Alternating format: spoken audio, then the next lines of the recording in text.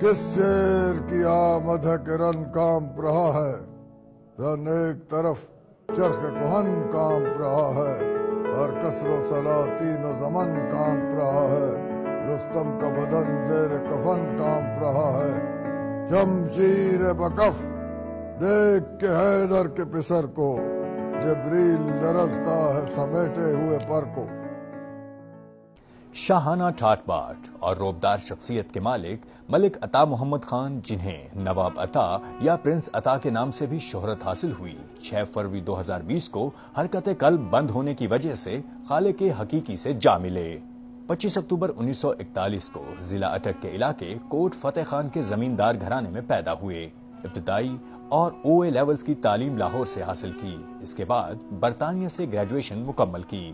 اوائل عمری سے ہی وہ مقامی ثقافت و علاقائی شناخت کی ترویج کے دل دادا تھے اور خاندانی روایت کا علم سنبھالتے ہوئے عوامی خدمت کا فیصلہ کیا تو عوام کی پرزور اپیل پر اسلامی جمہوری اتحاد میں شمولیت اختیار کی اور انیس سو نبے سے انیس سو ترانوے تک صوبائی اسمبلی کے رکن رہے۔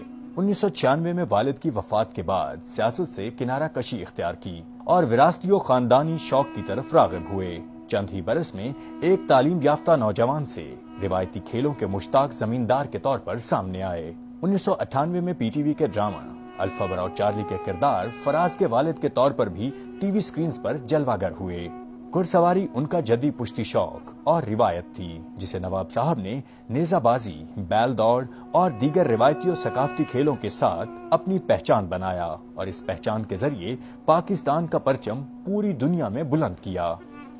نیزہ بازی کے کھیل کو نہ صرف پاکستان میں فروغ دیا اور پورے ملک میں ایسے مقابلوں کا انعقاد کرایا جس کی وجہ سے مٹتے علاقائی کھیلوں کو جلا ملی۔ یورپ، امریکہ، آسٹریلیا اور جنوبی افریقہ تک پاکستان کی نمائندگی کی، جس کے باعث عالمی کھلاڑی پاکستان آنے لگے۔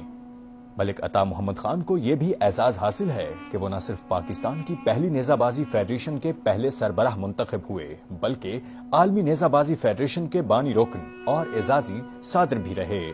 انہیں نہ صرف پاکستان بھر میں اپنے شاہانہ طرز زندگی اور منفرد انداز گفتگو کے باعث مقبولیت حاصل ہوئی، بلکہ کئی عالمی و قومی نشیاتی اداروں نے بھی آپ کے ساتھ پروگرام ریکارڈ کیے اور دستاویزی فلمیں بنائیں۔ جس سے ان کی شخصیت کے ہمہ جہتی پہلو دنیا کے سامنے آئے۔ ملک عطا محمد خان، نواب افقال آباد کے داماد اور سابق صدر فروخ لگاری کے ہم زلف بھی تھے۔ نواب صاحب اپنے شوق اور پاکستان کے مثبت تشخص کو اجاگر کرنے کے مشن کو ہمیشہ فریضہ سمجھ کر مشغول رہے اور پورے ملک میں علاقائی کھیلوں کو عام کیا۔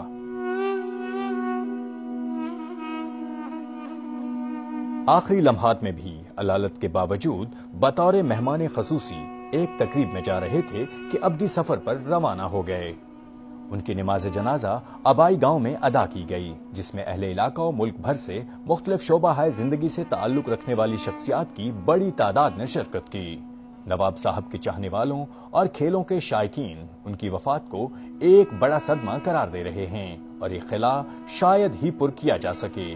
کیونکہ وہ نہ صرف پاکستان کی شناخت بن چکے تھے، بلکہ علاقائی کھیلوں اور ثقافت کو اجاگر کرنے میں ان کا ہمیشہ کلیدی کردار رہا ہے۔ علالت کے باوجود کھیلوں کی تقریب میں شرکت پر اصرار، ان کے شوق اور محبت کی روشن مثال ہے۔ پوری قوم دعا کو ہے کہ خدا ان کے سفر آخرت کو آسان کرے اور ان کے ورثہ کو صبر عطا کرے۔